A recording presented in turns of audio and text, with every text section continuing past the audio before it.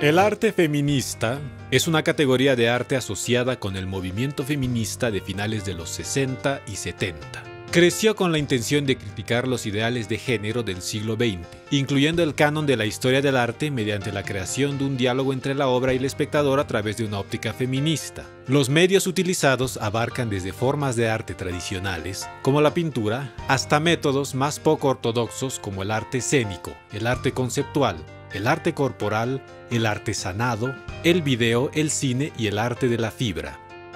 Bárbara Bodichon nacida en Inglaterra en 1827, fue una pedagoga y artista que se convirtió en una de las principales figuras de la lucha por los derechos de las mujeres en el siglo XIX. En el campo artístico se dedicó plenamente a la acuarela, que ejecutaba con gran originalidad y talento pintando paisajes de estilo naturalista. Junto con otras mujeres, formó en Langham Place de Londres un grupo de debate sobre los derechos de las mujeres pionero en Gran Bretaña y empezaron a ser conocidas como The Ladies of Langham Place. En 1854 publicó su resumen breve de las leyes de Inglaterra relativas a las mujeres, que fue clave para aprobar el decreto de 1882 de propiedad de las mujeres casadas. También creó el English Women's Journal, un medio sobre empleo y derechos de las mujeres.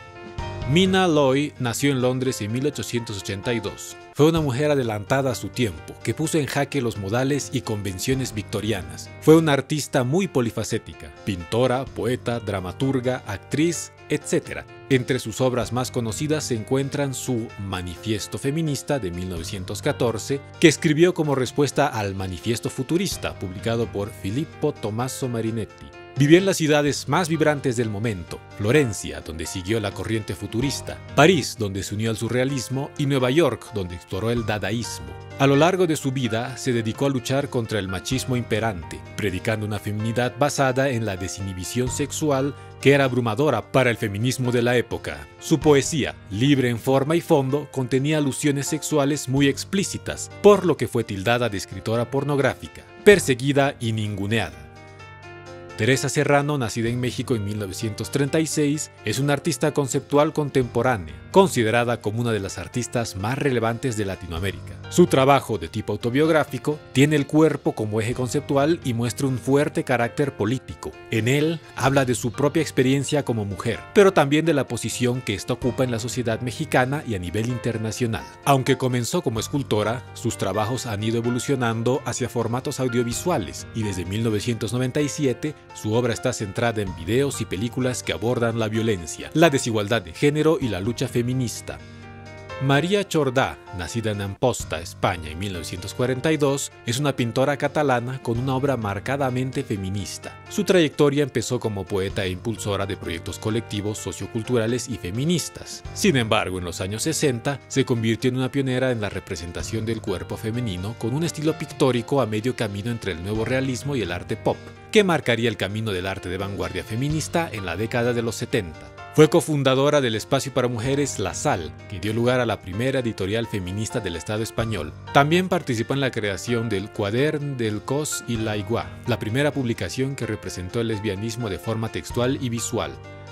Nancy Spero, nacida en Cleveland en 1926, está considerada como una de las artistas más radicales del movimiento feminista, tanto a nivel artístico como político. Desafió al patriarcado a través de su representación de la experiencia de la mujer, para la que se servía de imágenes de historia del arte antiguo y de la sociedad moderna sobre papel. En sus obras denunció el abuso generalizado del poder y la dominación masculina y abordó temas tan complejos como las atrocidades cometidas en la guerra de Vietnam, el holocausto y las dictaduras latinoamericanas. Nalina Malani, nacida en 1946, es una artista india especializada en instalaciones inmersivas, cuya trayectoria está plenamente dedicada al feminismo y la denuncia de la violencia. En sus obras muestra la fragilidad de la existencia humana a través de referencias a mitologías antiguas. En 2019 se le concedió el premio Joan Miró por su largo compromiso contra las injusticias contemporáneas hacia personas silenciadas, especialmente mujeres. Durante el 2020, la Fundación Joan Miró Contó con su exposición temporal No me oyes, en la que se refería de manera directa al patriarcado y que ha sido nominada a los Global Fine Art Awards del 2020. Ana Mendieta, nacida en 1948, fue una artista cubana que con su particular obra buscaba hacer reaccionar al espectador ante temas como el feminismo, el etnicismo, el sexo, la moral, la religión o la política. Era una mujer latina e inmigrante en Estados Unidos. Este contexto fue clave en su carrera, ya que exploraba continuamente su sensación de no sentirse de ninguna parte. Sus inicios estuvieron muy centrados en la denuncia de la sociedad patriarcal anglosajona, que la sexualizaba por ser latina. Sus instalaciones de carácter a veces violento e impactante utilizaban sangre o animales, además de su propio cuerpo, para hacer llegar su crudo mensaje. También fue conocida por sus obras de temática naturista, en las que la artista se integraba por completo en la naturaleza. Fina Miralles, nacida en Barcelona en 1950, es una de las artistas catalanes conceptuales más singulares de la actualidad. Su obra surgió en el contexto de la censura franquista, contra la que luchaba a través de un nuevo concepto de lo artístico. Su trabajo también ha sido catalogado como feminista y land art, aunque su obra va más allá de estas etiquetas. En sus instalaciones, Fina aborda temas como la relación del trabajo con la naturaleza, los lenguajes artísticos a través de una idea, las relaciones de poder o la condición femenina.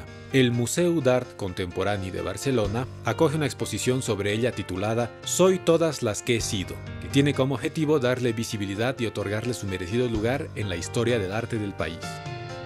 Martha Rosler, nacida en Nueva York en 1943, centra su obra principalmente en la creación de videos. Es una de las artistas feministas más reconocidas a nivel mundial. Su obra es un acto de denuncia contra la opresión de las mujeres a través de escenas de la vida cotidiana aunque también aborda otros temas como la guerra y la seguridad nacional. Una de sus obras más conocidas es la video performance a modo de parodia Semiotics of the Kitchen. En ella aparece una mujer situada ante una cámara fija que describe los utensilios de cocina y su funcionamiento con un léxico personal que refleja rabia y frustración. De esta forma critica la asignación de la mujer a los trabajos del hogar y concretamente de la cocina. El objetivo es protestar contra esta situación y dar visibilidad a la opresión. En palabras de Rosler, cuando la mujer habla, da nombre a su propia opresión.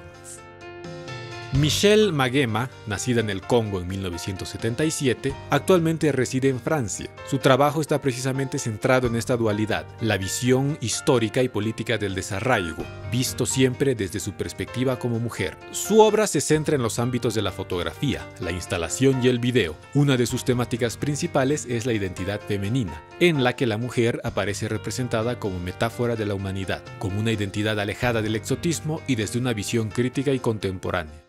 Eso fue todo. Si te gustó, no te olvides darle a me gusta, comenta, comparte y suscríbete.